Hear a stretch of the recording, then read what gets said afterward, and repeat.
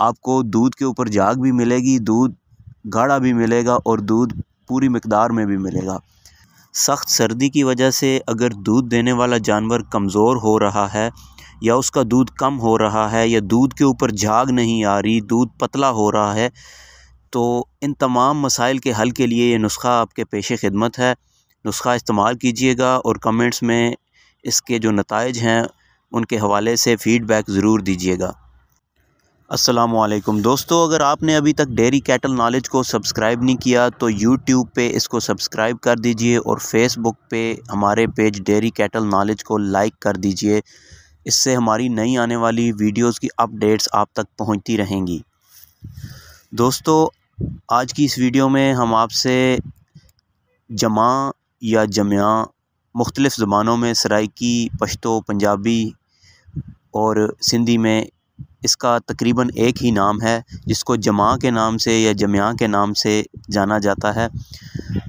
इसके बारे में एक बहुत ही बेहतरीन और बहुत ही आला नुस्खा आपके साथ शेयर करने जा रहे हैं।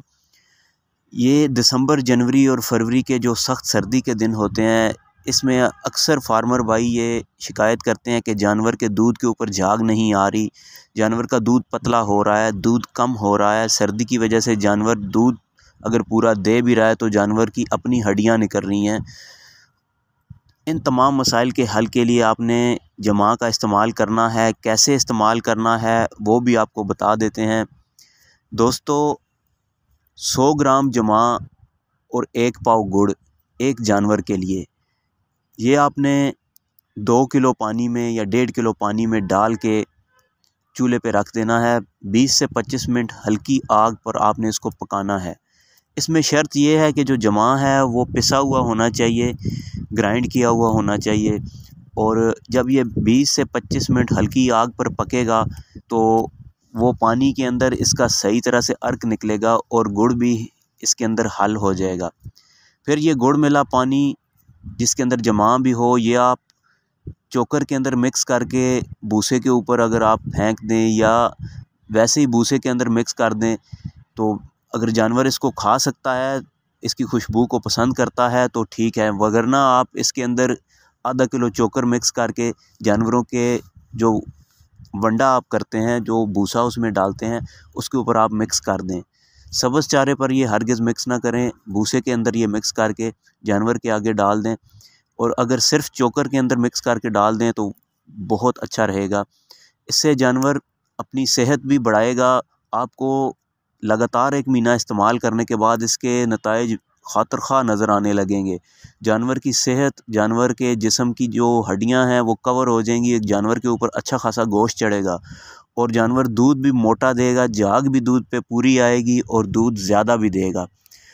और वनडे के साथ ये अगर आप इस्तेमाल करते हैं, ये तो ये आपका तकरीबन पचास से सत्तर अस्सी रुपये का रोज़ का ख़र्चा जमा का हो जाएगा और गुड़ को मिला के कोई यही कह लें कि सौ एक रुपया आपका रोज़ लगेगा। लेकिन ये आपका रोज़ का सौ रुपया नकारा नहीं जाएगा, इससे जानवर टाइम पे हीट में भी आएगा और जानवर पे सर्दी के असरात भी नहीं होंगे। तो आपको दूध के ऊपर जाग भी मिलेगी, दूध गाढ़ा भी मिलेगा और दूध पूरी मकदार में भी मिलेगा। दोस्तों, ये दिन में सिर्फ़ एक टाइम ही आप इस्तेमाल करें।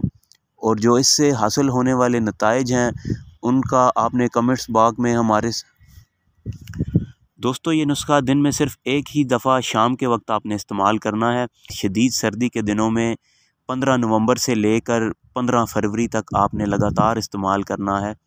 इससे जानवर की मुदाफ़त भी बढ़ेगी, उसकी सेहत भी अच्छी होगी और दूध की पैदावार में भी आपको फ़र्क नज़र आएगा।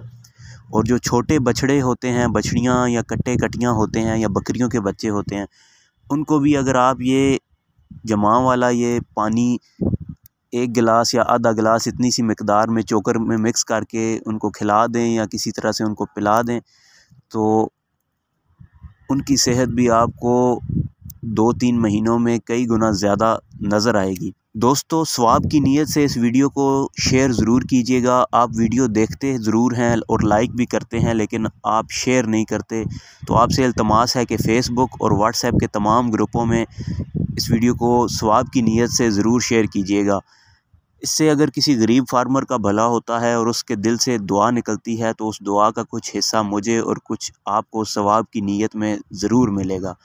तो अपना और अपने प्यारे से जानवरों का बहुत सा ख्याल रखिएगा। दुआओं में मुझे याद रखिएगा और डेरी कैटल नॉलेज को देखते रहिएगा। अल्लाह हाफि